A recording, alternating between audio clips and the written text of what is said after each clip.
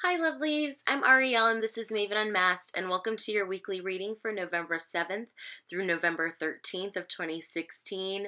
Sorry, this is coming a little late to you.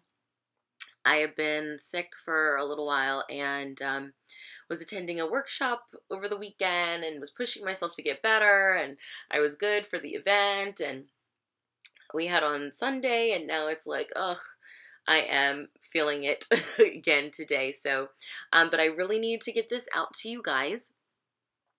I hope everyone had a great week last week. Um, I will say that I did get my psychic mediumship certification. Yay! So um, I will start to offer mediumship readings. Those will be up um, on my Etsy shop sometime later this week, so be sure to stay tuned for those. Um, but let's go ahead and get started with our weekly reading. This week I will be using the lovely Fountain Tarot. I will also be using the crystal reading cards. That's where we will get our oracle card from this week. So, right now, I'm asking for everyone's angels, their ancestors, their guides, their loved ones in spirit to be here with me and with you to give us a message for our best and highest good this week.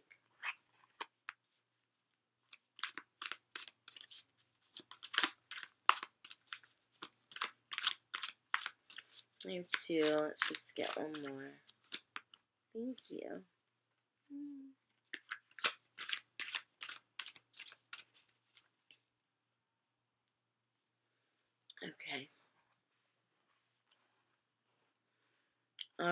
So we have three cards this week. First, we have the Three of Swords, but the Three of Swords is reversed. Yay! Um, typically, in its upright position, the Three of Swords um, can be about tragedy, it can be about loss, it can be um, about heartbreak, betrayal, um, feeling just stabbed in the heart, truly um, loss, tragic loss. Um, but it's saying this week that our focus needs to be on what we have and not what we feel like we're lacking. Um, it also feels like in its reverse position that these swords will be able to find a way out. So we're really focusing on healing and healing the heart this week. Um, and I feel like about not being heartbroken over the way some things may work out this week. And I say that because in conjunction with the Three of Swords reversed, we also have the Eight of Wands reversed. So the Eight of Wands is about quick forward movement, things coming, coming, coming at us really, really fast. I feel like it's saying this week um, that if you're waiting to hear some news or working on something, don't be heartbroken if things aren't, you know, manifesting or coming forth super, super, super, super quickly. Um, I also feel like this is a message to not be disappointed if your heart healing, whatever healing it is you're working on, healing that loss um, or the way you think about that loss, don't be just upset or discouraged if it takes a little bit longer than you originally thought it would.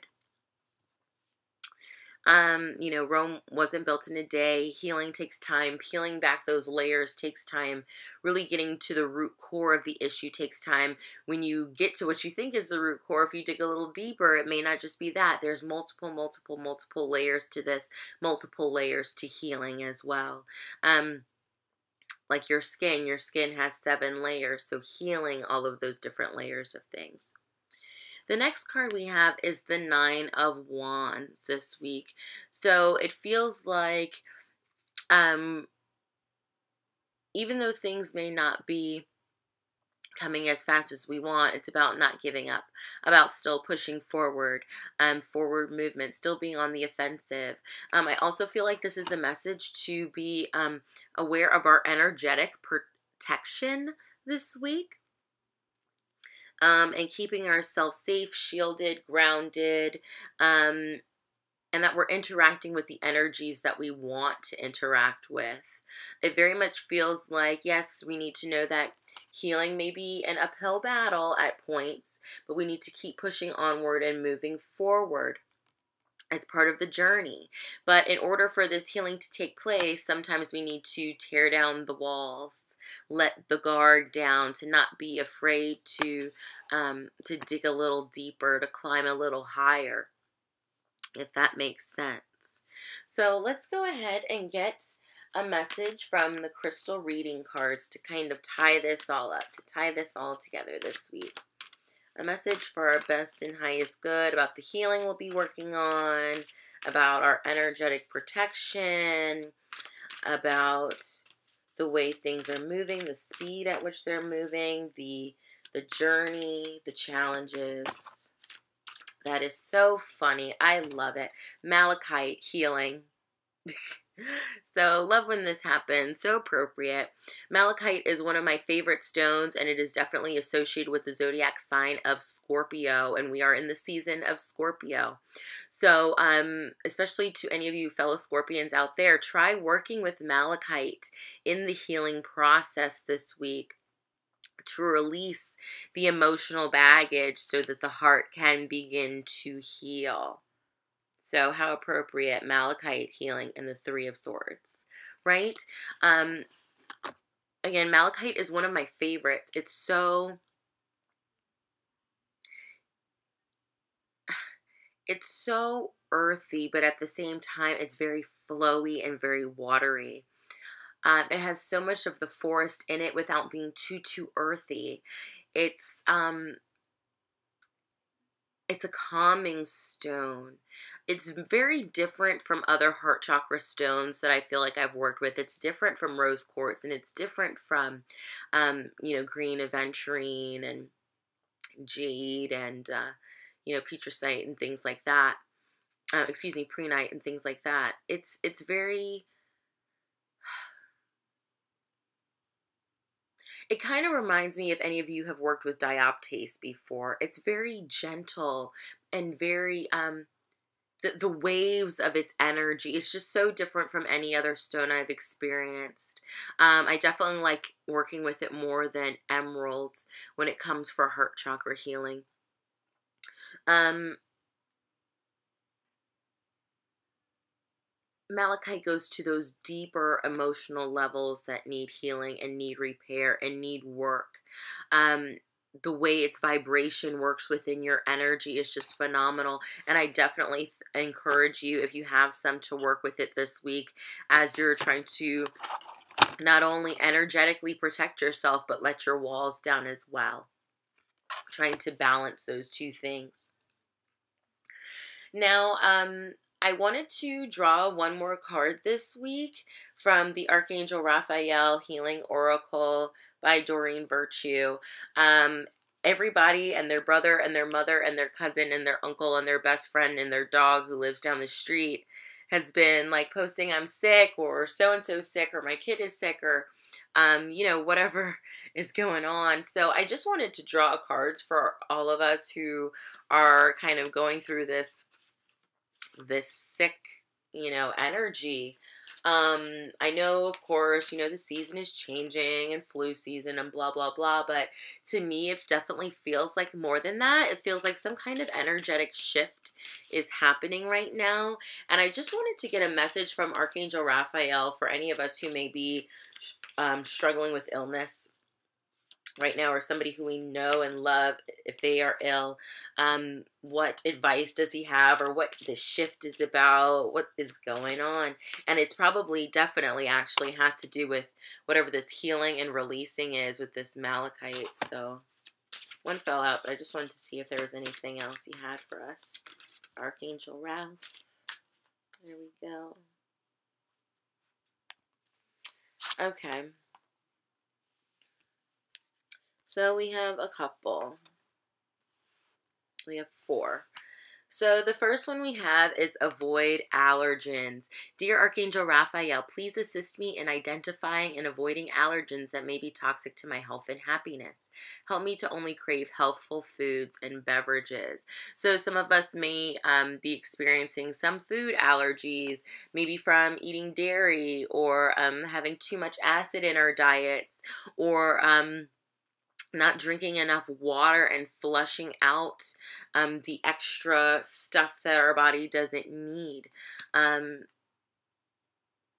and that your allergens may change over time. What used to, you know, what used to, you used to be okay eating, sometimes at different times of the year, it affects you in different ways. So, um, we're being asked to avoid anything that may upset our tummies, our skin, our throats, um, you know, just the way we feel. And I believe, I want to say that includes like fast food and junk and too much cheese or, um, you know, too much caffeine, things of that nature. Please note, I'm not a medical or health professional. I'm just reading with these cards and giving my opinion, my humble opinion um, from what Spirit is giving me.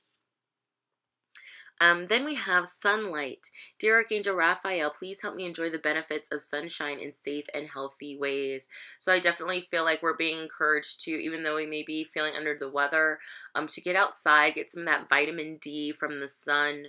Um, the sun definitely being in sunlight, it helps to lift your spirits and to elevate your mood. And when we're sick and we're not feeling good, um, your mood can kind of be crappy too. So I definitely feel like we're being asked to go outside to allow the sun to dance on our face, to dance on our skin a little bit, to soak up that vitamin D and that positive, loving energy from the sun, the healing light of the sun.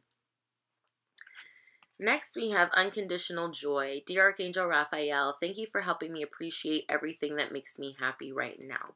So I think this is a message too for us to slow down. And I love how um, we had the Eight of Wands reversed so that things are, you know, may not be moving so fast. Things may be slowing down a little bit. And when things do slow down, it helps us to see um, what we have around us when we're not constantly go getting and chasing after the next big thing to appreciate and have joy and spend time when we have when we're sick and we you know we're not working or um, you know we can't spend as much time with the family because you know we're ill we're focusing on us. And when you focus on you it helps to allow you to be able to express your joy more. It allow more. It allows you to take time to recover from whatever it is that you're going through um, I also think with the unconditional joy is to um, spend some time with your fur babies if you have some, if you're feeling sick. You know, they don't care about catching your cold. So, you know, allow them to lay in your lap and, you know, pet them or whatever it is you feel that you need to do to feel that unconditional joy from those who love you and support you. And the last card we have is Home Help. Dear God and Archangel Raphael, thank you for giving me the courage to ask for and accept help from you, the angels, and others in matters regarding my family and home. So I definitely feel like this is Archangel Raphael just saying, hey, if you or someone you love, someone in your family is struggling with illness or um, with heart healing, like we'll be working on this week, to just call upon him. He is there and ready to help, to call upon your angels. They're there and ready and willing to help, to invite that green ray, that emerald ray of light to envelop you and your body and to really imagine it working in to that area, that problem area that you're having, to send healing, loving light and energy to that area of your body. But I'm Ariel, and this has been Maven Unmasked with your weekly reading for November 7th through November 13th of 2016. I hope you all have a fabulous and healthier week, lovely ones. Um, and that's all from me. Take care. Love you. Bye.